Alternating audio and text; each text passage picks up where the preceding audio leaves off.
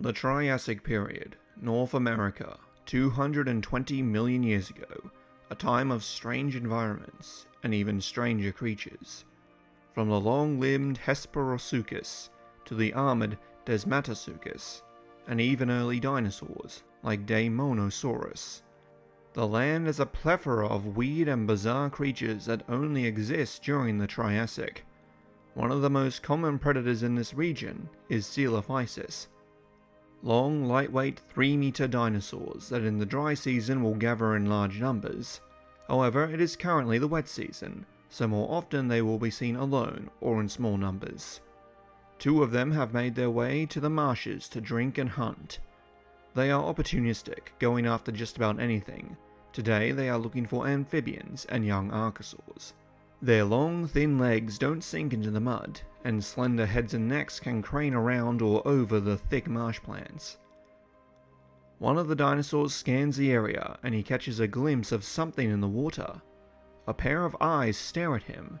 He makes out a short skull, but the rest of the creature is hidden beneath the shallow water. For a long while, the two stared at each other. The Coelophysis had no idea what it was, and therefore if it was potential prey or a potential threat. The submerged creature didn't move, but from behind it, a row of spines over the top of its tail began to rise out of the water. At that moment, the second Coelophysis walked up to her partner and followed his gaze till she saw the odd head in the water. She was not as cautious as the male and walked towards the odd water dweller, lowering her head ready to strike. But the strange creature struck first, it burst out of the water, its whole body both suddenly revealed and now in midair. Mouth agape trying to bite the dinosaur's head. The creature was a 1.5 meter chimeric blend of different features, a short thick skull with canid teeth, an armored body of a crocodile, the long legs of a lizard, and a spiked newt-like tail. The Coelophysis had never seen anything like it, and now it was attacking her with mad ferocity. She pulled her head back, and doubled back, just escaping the creature's jaws. It then splashed back into the shallow water, but was instantly chasing her down, now trying to snap her heels. The Coelophysis jumped back, trying to get away, but her attacker was vicious and quick. She reversed into the male Coelophysis, and both started moving backwards. The creature began lunging at both dinosaurs, and that gave each of them enough time to turn tail and run back to dry land, wanting never to return to this marsh again. Their attacker is a Vancleavea, a fierce carnivore from an ancient lineage of reptiles. The hunter didn't intend to kill the Coelophysis, he just wanted them out of his territory. Vancleavea are aggressive ambush predators, and in a world so full of other carnivores and tough herbivores, they have evolved to go all out on anything that disturbs them. Having scared the dinosaurs senseless, he turns and wades back into the water, where he is more at home. Vancleavea are semi-aquatic, and they mostly feed on aquatic prey, but their robust skulls and large teeth mean they will try and eat just about anything, at least once. He swims through the shallow water, using his broad tail to push himself forward.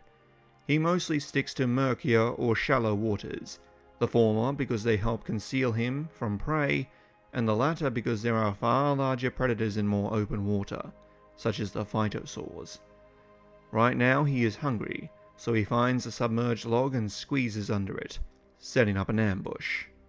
He can hold his breath for up to half an hour if he remains still, and it doesn't take too long before some fish swim close to the log, unaware that part of said log is a camouflage Vancleavea. He waits and waits, allowing them to come into range. He darts forward, clapping his jaws shut, but the fish evade him. Frustrated, he swims after them, he bites twice more, but he catches nothing. He stops near the surface and sees his prey as scattered out from him. Hungry and irritated, the Vancleavea swims to the surface to take a quick breath of air. As he begins to descend, he notices a shift in the water. Perhaps something else he can eat is coming this way. He turns, but as he swims, he sees something approaching. It has canid-like teeth, an armored body, a newt-like tail, and it is twice his size. The male has almost run right into the face of a full-grown Vancleavea, nearly 4 meters long. He swivels around and beats his tail as hard as he can, but the adult is faster and bolts after him, grabbing his tail in its jaws.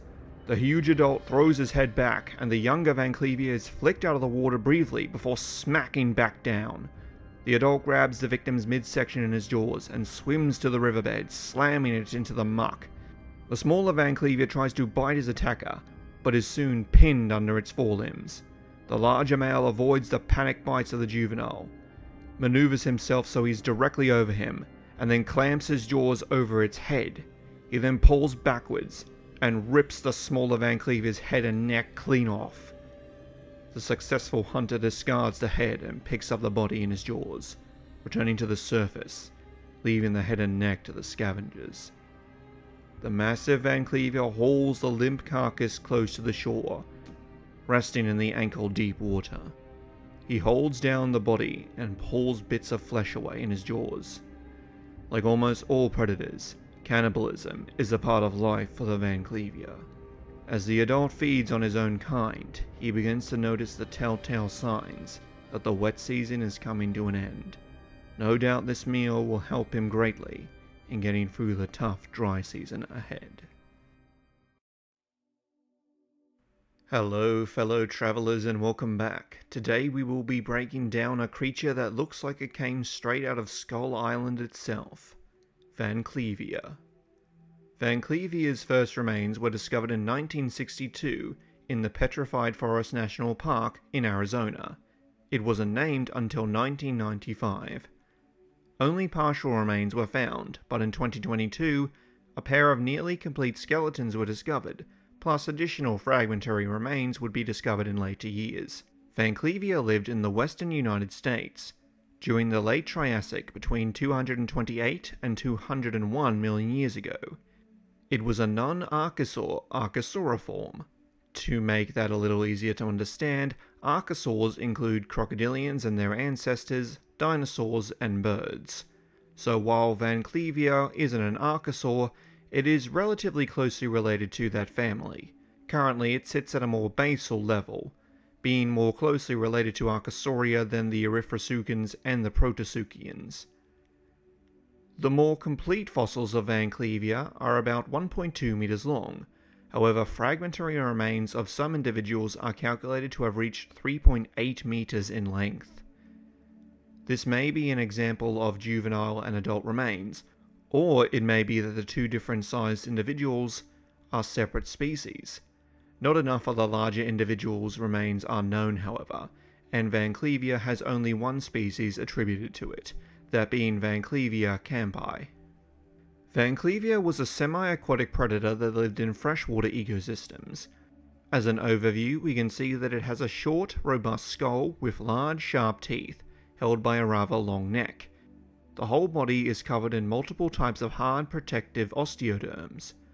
The limbs are small but would have still been useful on land. The tail is tall and flat, used to propel itself through the water. Now let's get into more detail, and we can see how truly unique it is. Starting at the skull, we can see it is quite short and the bones are compact and robust. This is very different to many semi-aquatic predators like crocodiles that usually have either long or flat skulls. This was the same in the Triassic, so Vancleavea may have been niche partitioning, feeding on some food source that other predators weren't eating or couldn't eat.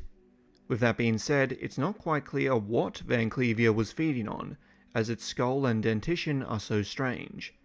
Speaking of which, Vancleavea had many large cone-like teeth, the front teeth of which have been described as caniform-like, as they are quite diverse in both size and shape, an interesting case of convergent evolution. The teeth behind them were so large that one on each side of the bottom jaw needed a notch in the top jaw in order for both jaws to close. These fearsome teeth and their large forward-facing eyes would have made Vancleavea an efficient and deadly hunter. Oddly, Vancleavea lacks an antorbital fenestra, this is the hole in the skull in front of the eyes normally seen in archosauriforms.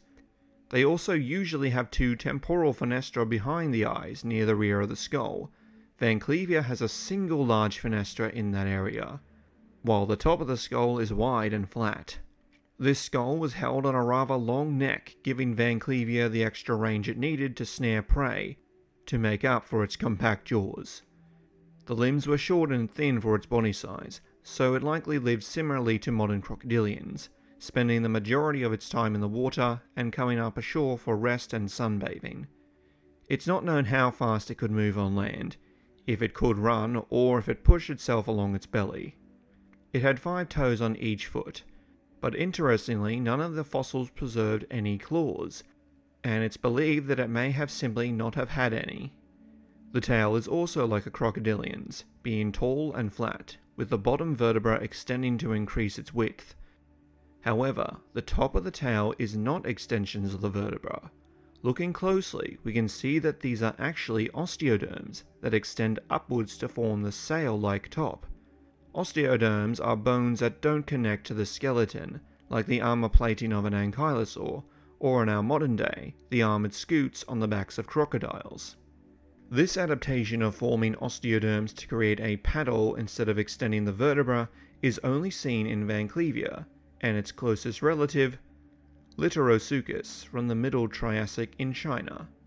Now we can see from the well-preserved skeleton, Vancleavea was covered in multiple types of tough armor. These are broken up into five distinct types of osteoderms, from A to E. Type A, in green, is along the throat, and are teardrop shaped with a rounded rear edge and a pointed front tip.